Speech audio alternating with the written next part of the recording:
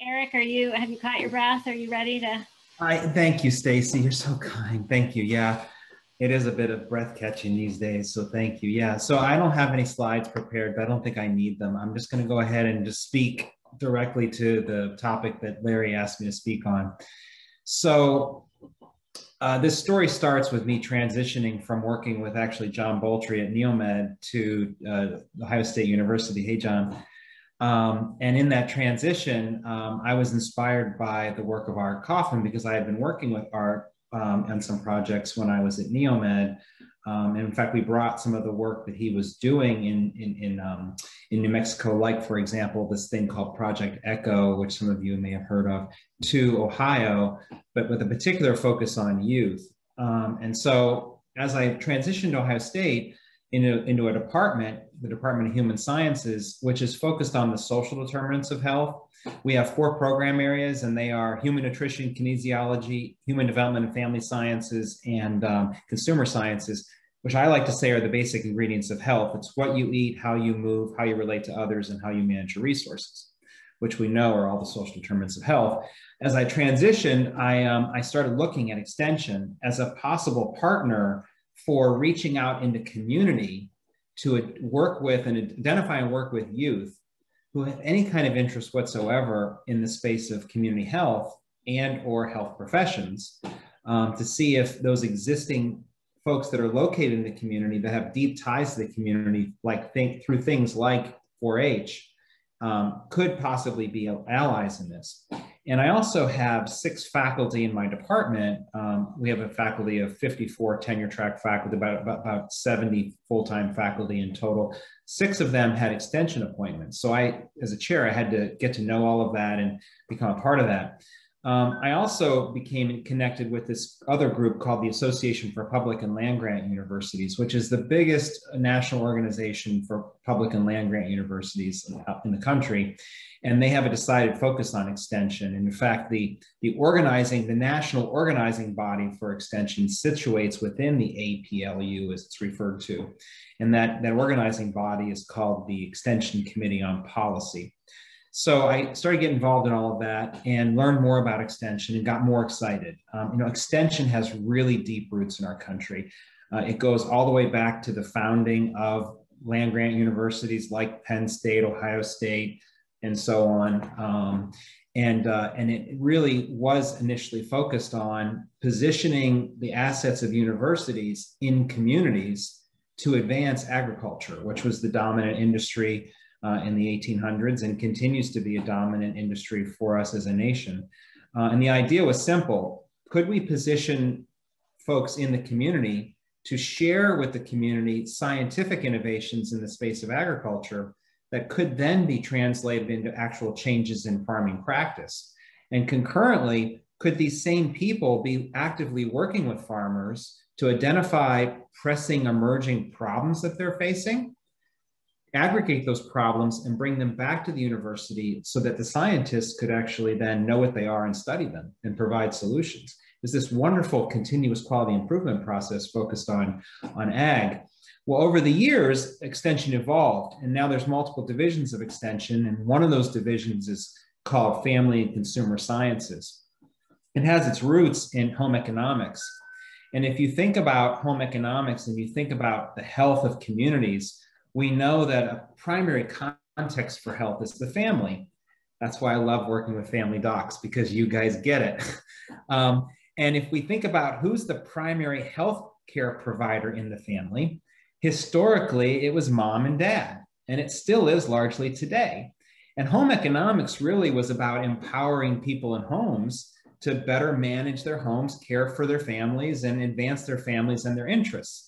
So extension evolved to include a decided focus on that because they saw that as a strategic priority for the nation because healthy families breed healthy people who become more productive workers, which have a bigger impact on the, on the, on the economy and advance us as a whole from a health and wellness point of view. So um, it's departments like mine that emerged out of home economics. Um, and so that said, the question then became, well, what can extension do more so in the space of health?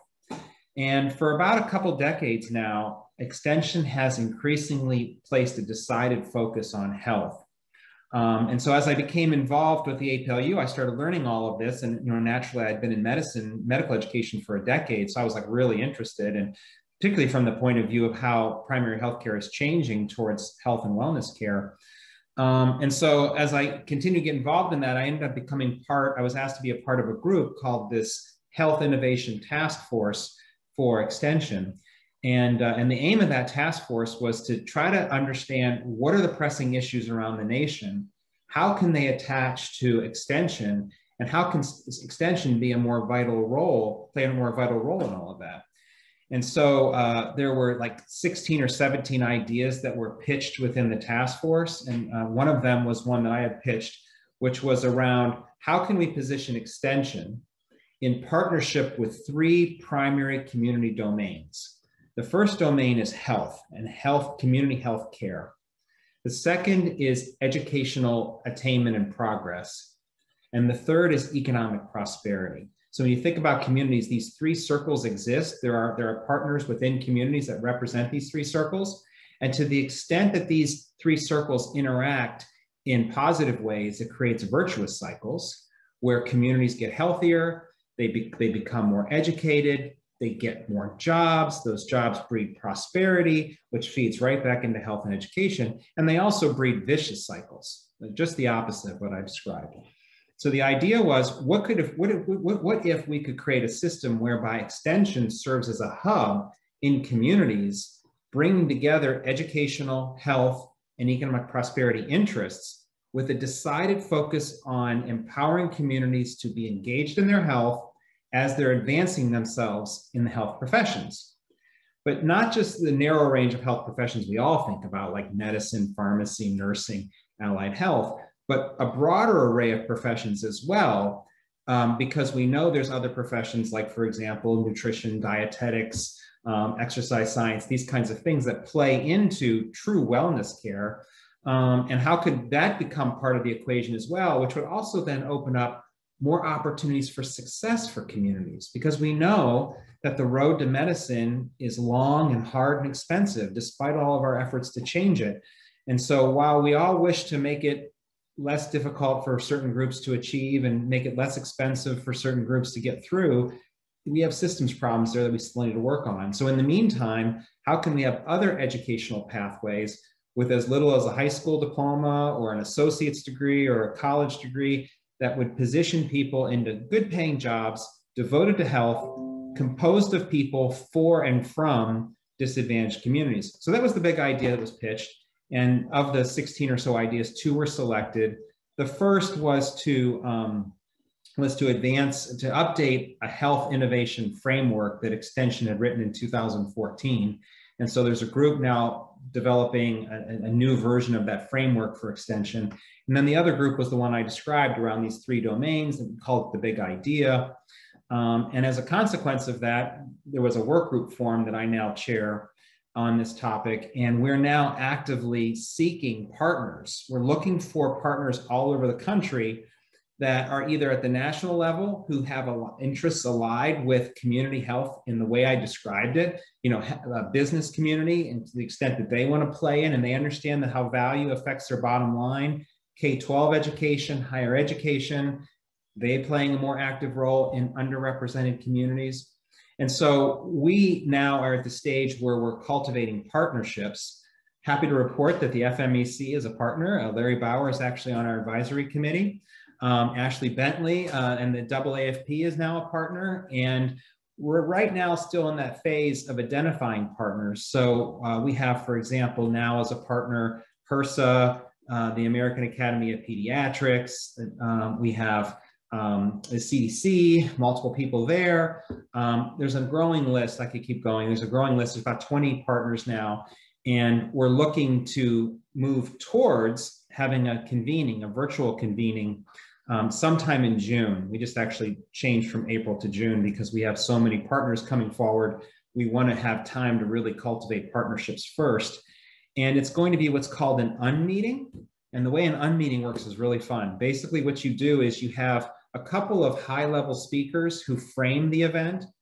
And then the lion's share of the event are attendees moving in between small groups with some very structured but general questions that gets from the audience their perspectives on the issues of education, health, and economic vitality, how they interrelate, what are real programs that are currently occurring in community that should be a part of our model. Uh, and, and organically, what ends up happening is you end up developing themes that then speak to what a framework for this might look like. The outcome of the unmeeting will be the start of an alliance at the national level where we'll have state, well, sorry, we'll have national um, interests that will be supporting partners, and we'll have hopefully two or three or four states that are willing to be pilots. Um, and in each state, naturally, extension would be involved, um, but it would also be the land grant universities, perhaps other universities. It would be healthcare interests, it would be community interests, and certainly would be educational interests. And the idea would be that we would develop a framework that would be flexibly applied within states with again extension being a new feature for some of you at the table um, with the idea being how can we use existing assets in communities to advance these interests that we have in the health professions community health and economic prosperity. So i know i've spoken a ton. I can answer questions. I've given you a very broad overview of what this big idea is it's still in definitely the formative stage um, we are moving forward in Ohio, uh, actually partnering with Larry. I mentioned this to Ted the other day uh, to convene stakeholders. Our director of extension signed on. Our, our, one of our associate deans in pharmacy has signed on, and nursing has signed on. So we're going to be bringing together stakeholders to basically be sort of that leading edge of what's coming at this national level.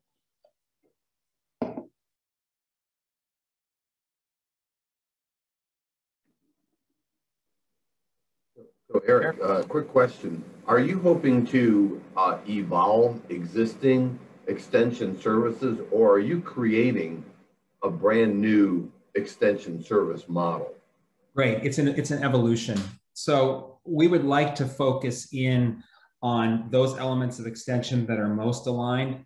The ones that really jump out right now are 4-H. And for those of you who don't know, the 4-H's are head, heart, hands, are you ready for it? Health.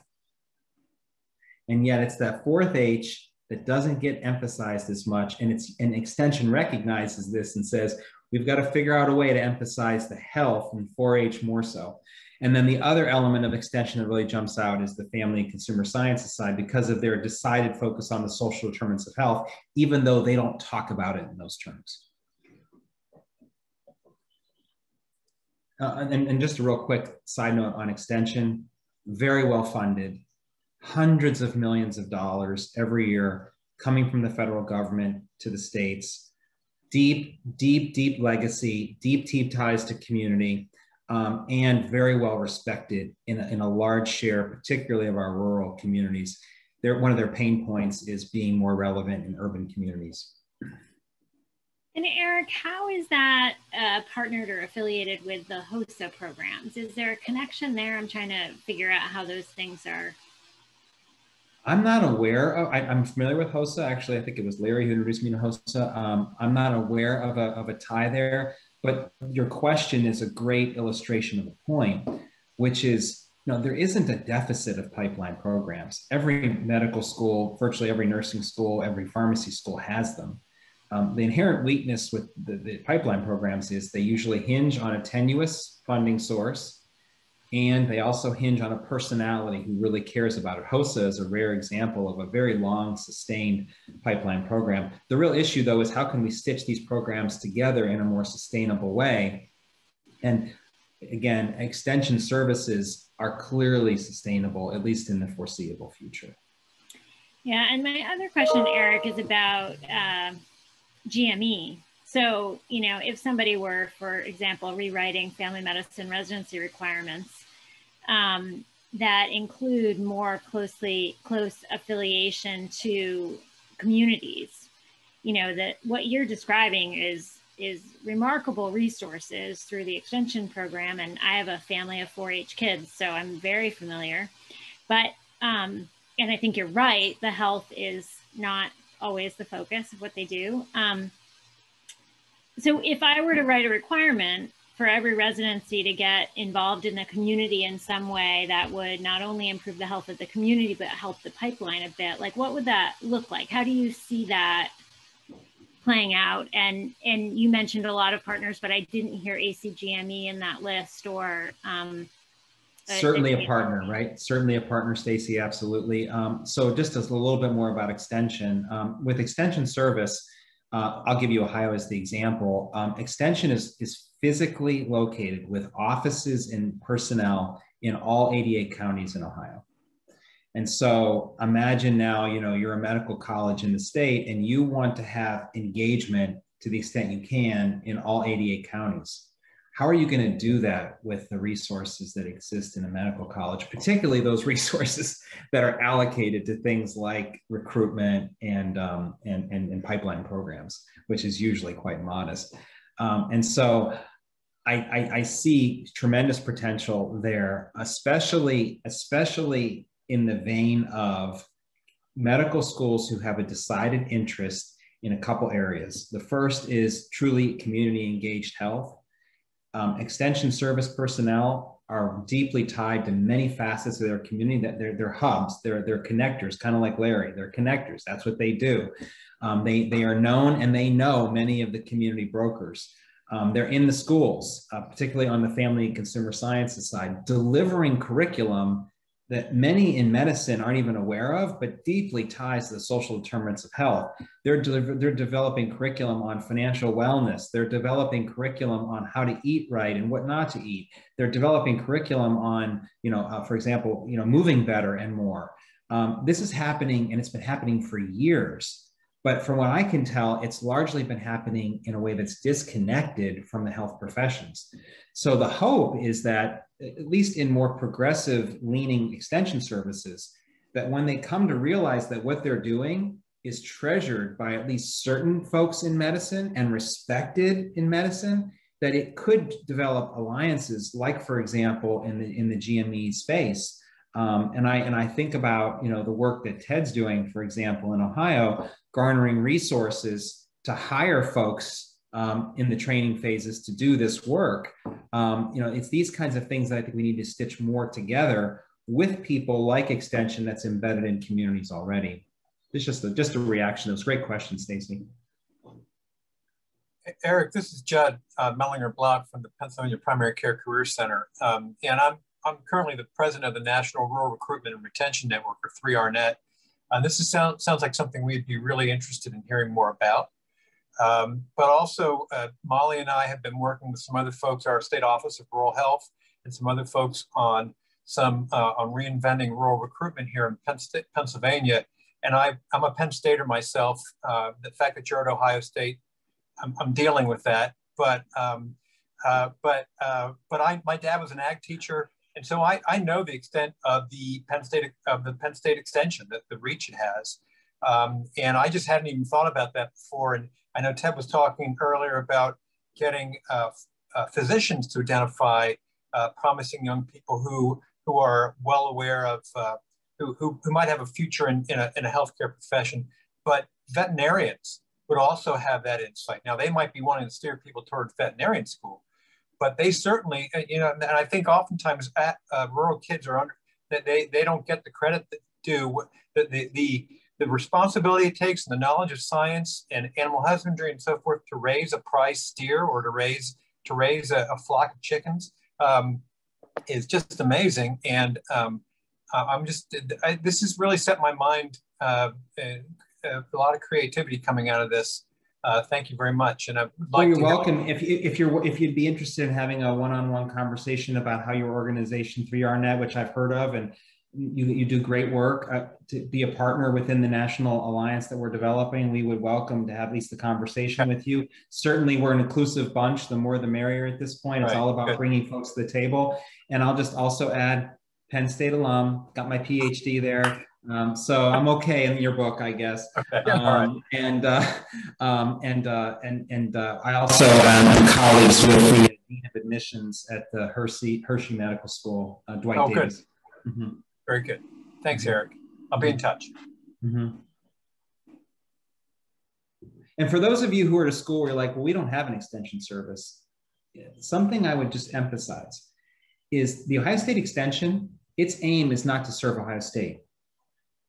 Its aim is to serve the communities, and there's structural things in place to make it so. And so, uh, something to consider is is if you're at a any kind of school in any state, every state has an extension service. This model could be applicable to you too. So just a follow up on that, Eric, when we were talking with Dennis, uh, Ted, you and I uh, last week, when this was brought out to Dennis, who's been at Penn State for like ever, uh, he was delivered by Tom Lehman, the chair of family medicine. He's been there forever. He had no clue that there was an extension service at Penn State. But I, will yeah, bet he does. Probably in every county in Pennsylvania too. Yeah, yeah. Um, so I saw in the chat, Ashley said there's some, there was a question about double AMC data. Um, working on a different project that I can talk about just briefly, which is we're using about 5.4 million rows of data from the AMC to figure out what's happening in recruitment, admissions, and matriculation with a focus on diversity, which I think would attach to the comments of the colleague that just mentioned about rural. But was there a particular question, Ashley, that I that was that was asked? Actually, my question, Eric, and the question was, do we know for underrepresented minorities, um, how do they compare in terms of going into family medicine and true primary care? How do they mm-hmm. compare to uh, the rest to their classmates?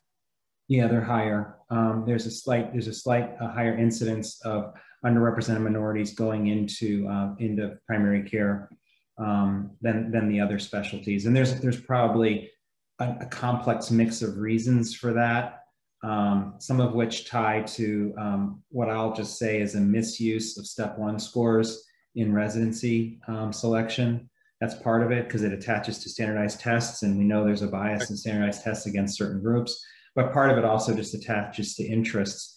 So in this study that I, we're working on right now, here's what we're finding. We're finding that when a medical school asserts a mission that is a combination of primary care, medically underserved, diversity, and social interests, when there's more of that present in the mission statement of the medical school, they enjoy appreciably more applications from underrepresented uh, minority, racial minority students.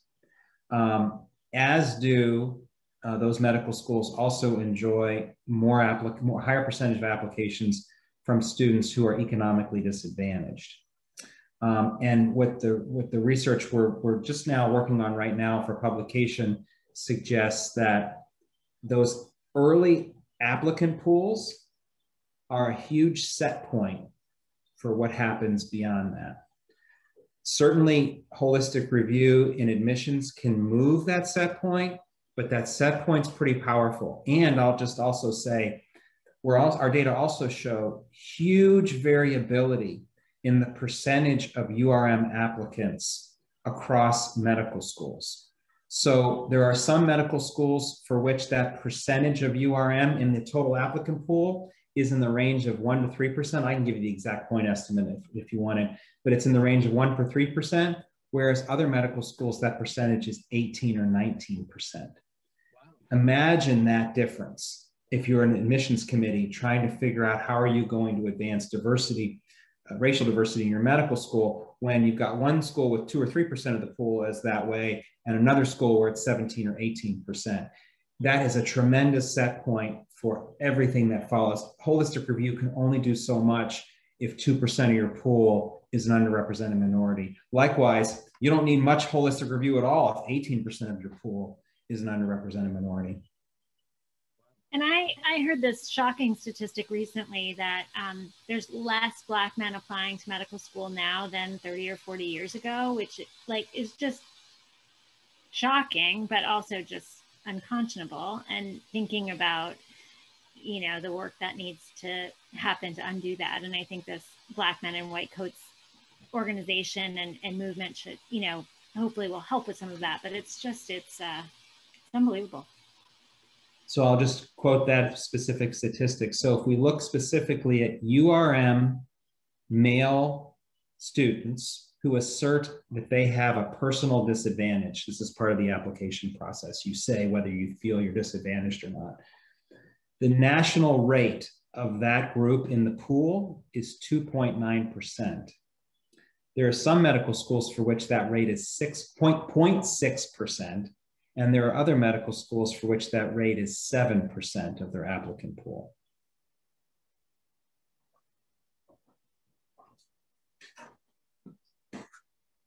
So recruitment matters and yep. mission matters. So Stacy, should we take a break? Yeah, so thank you, Eric, for that. I really appreciate all of that information and all the great work you're doing. Um, and so what I would recommend is that we take our break now and then return probably just maybe just return at five or a couple minutes before five for our, our next set of speakers. Sound good? So the next the next set will be Molly and Judd.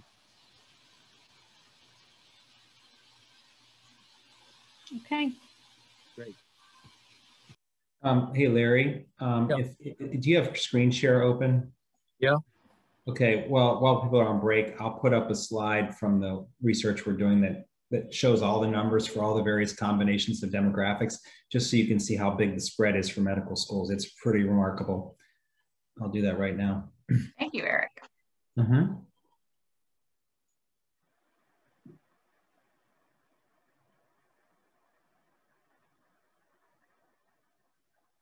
I don't know if you can see that, but I can make it a little bigger.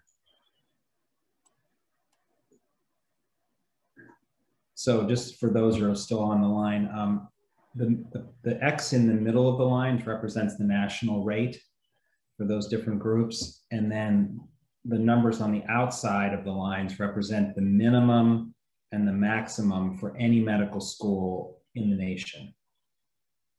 And then the top line for each graphic is the admission pool, I'm sorry, the applicant pool. And the bottom line represents the admit pool. In fact, I can actually show you something one better. This is applications, admissions, and matriculation, who actually comes to medical school. And you'll see how big the spreads are.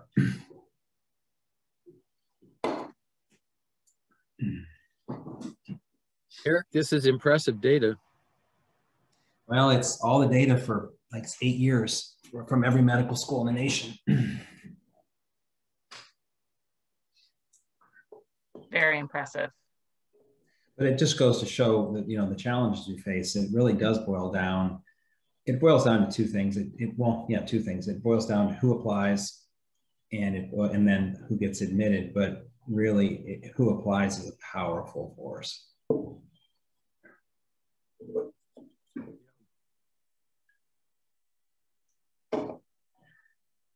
So a little later on this afternoon, we will have a presentation um, by a, a, group with CMMP, which is uh, a medical mon monitoring medical monitoring program. It's um, a relatively new organization that provides support to, I think it's both high school and college, but it could be just college for uh, URM folks. And they'll be coming in to talk about what they're doing. Awesome.